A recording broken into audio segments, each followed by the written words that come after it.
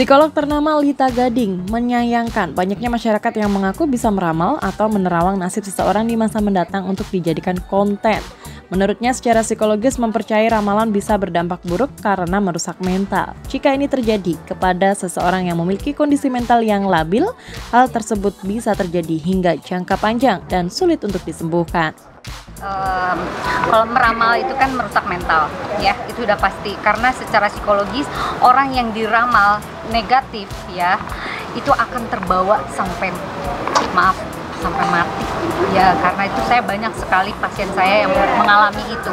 Karena diramal akhirnya dia uh, down dia tidak bisa melakukan apa pun akhirnya dia menyalahkan diri sendiri akhirnya bunuh diri. Nah itu. Jadi efek dari ramalan itu sangat dahsyat.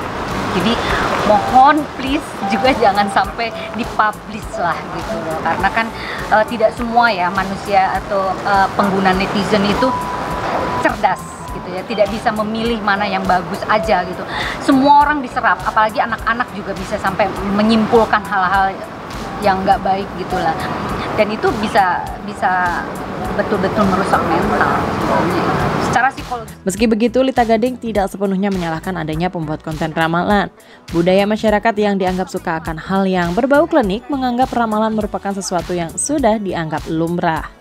Kalau kita melihat dari faktor budaya, memang kita ini individu masyarakat Indonesia memang suka klinik suka hal-hal yang berbau klinik ya itulah uh, salah satunya kenapa uh, segala mengenai ramalan itu dianggap menurut dia sah-sah aja gitu. Padahal secara tidak langsung penanaman dalam pikiran itu dahsyat sekali efeknya.